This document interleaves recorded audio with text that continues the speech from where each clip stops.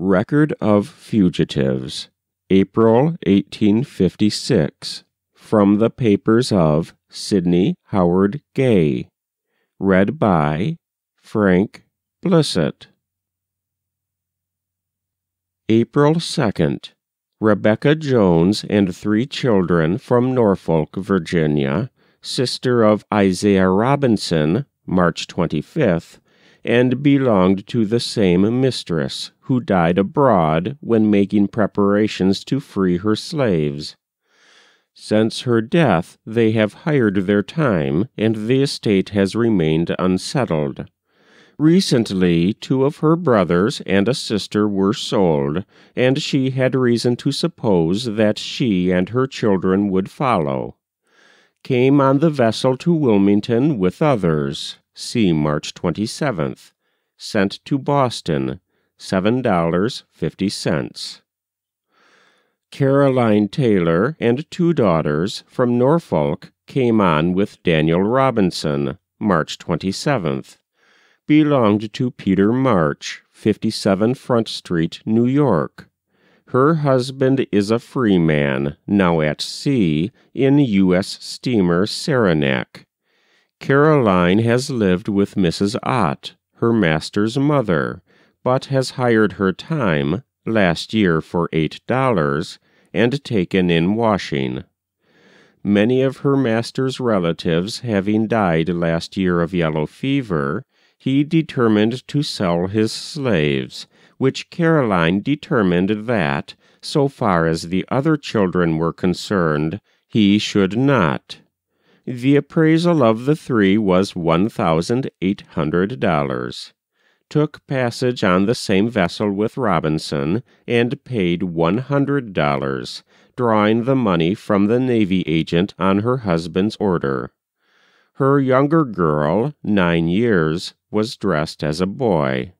Sent to New Bedford, where she has a sister. Ten dollars fifty cents. April 4th.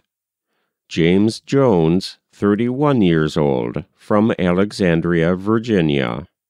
Left on Friday night last, March 28th, in a schooner for Baltimore. A friend of the captain of the vessel concealed him there in a freight car and let him out at Wilmington. Paid the captain two dollars forty cents. Dr. William Stewart was master had not been treated badly, but was tired of being a slave. His mother ran away four years ago and went to New Bedford. Sent to Syracuse, four dollars fifty cents. Thomas Henry Matthews now calls himself Lewis Lee, twenty five years. Came off with five others, four men and one woman, from Prince George's County, Maryland, near Bladensburg. Ethan A. Jones, his master. Started Easter Saturday. Walked on towards Harrisburg under the guidance of a free colored man of Washington, Joseph Beckett. Traveled by night and hid in the day. The guide left them on Wednesday near the Pennsylvania line each of them having paid him ten dollars. Arrived at William Wright's, twenty miles from Harrisburg, on Friday. Here Thomas left the party, went to Dr. Rutherford, Harrisburg, who sent him to a colored man, who forwarded him to Philadelphia. Says he was worked as a slave, and had not even enough to eat.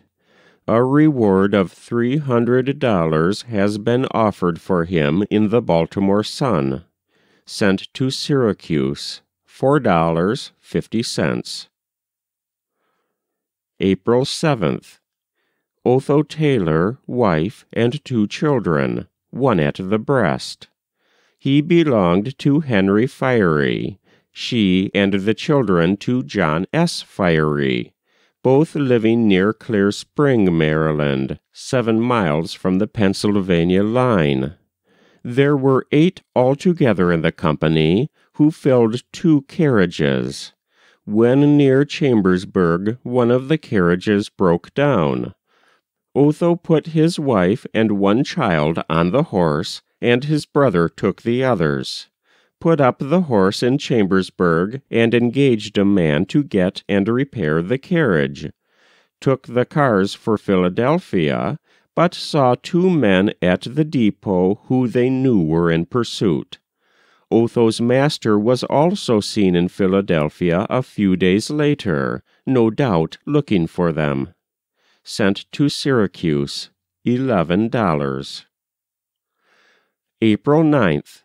Charles Hall belonged to Atwood Blunt of Baltimore County, Maryland, about 14 miles above Baltimore.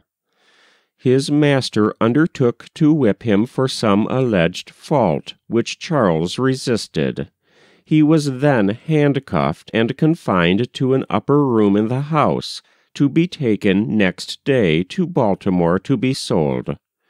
He contrived to tear up the hearth and break into the room below, from which, being unlocked, he escaped, walked to Baltimore that night, still handcuffed, and went to the house of a friend who received and concealed him for three days. Then walked to Pennsylvania. James Johnson of Deer Creek, Maryland. William Rambley, master, left on Friday the 4th. His master had threatened to sell him. Sent them both to Syracuse. $8.50. April 11th. Three men arrived from Philadelphia Station of the same party with Matthews on April 4th. George Ellis Logan, belonging to Sarah Jane Costin, and John William Logan, cousins, belonging to Nancy Cox, all of Berkeley County, Virginia, near Georgetown. They report that Fiery has been obliged to give up working his farm as his hands have all gone, and that Otho Taylor, April 7th, one of the Fiery's people, had to whip his wife to make her consent to go. The Logans think that she will reckon it was the best whipping she ever had in her life. Sent to Albany, $4.50. With them was Charles Carter of Richmond, Virginia. Daniel Delaplane was his master. He has a wife at Alexandria and four children, slaves of Mr. Cusno, whom he was allowed to go and see occasionally. Had a pass for that purpose at Christmas time, but having heard that his master, alarmed at the frequency of slaves running away, and thinking that this very habit of going to Alexandria might lead Charles to acquire a taste for traveling, had determined to sell him, Charles concluded to indulge his desire to see more of the world at once. He went on to Washington, and has been concealed there all winter.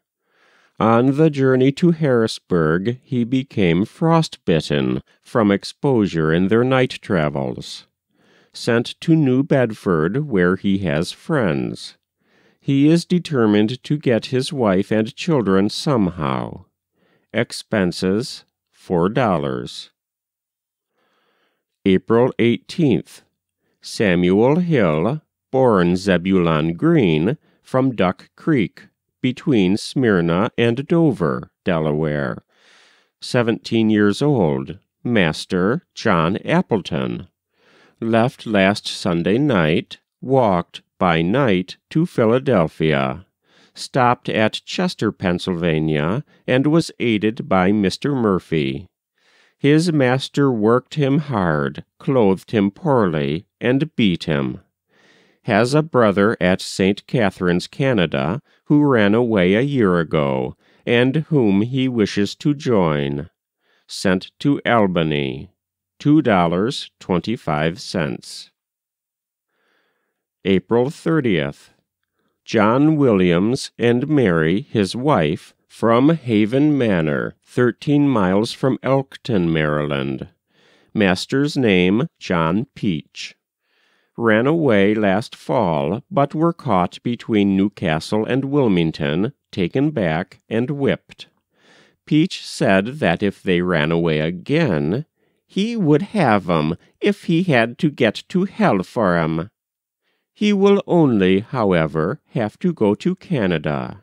It is not, to be sure, so far, but the difficulties would probably be greater, as in the other place a slave catcher would be sure of aid and sympathy. They left on the night of the 10th and reached Wilmington before morning and were received by Thomas Garrett. Forwarded to Still, who sent them here. Sent on to Syracuse. $8.50.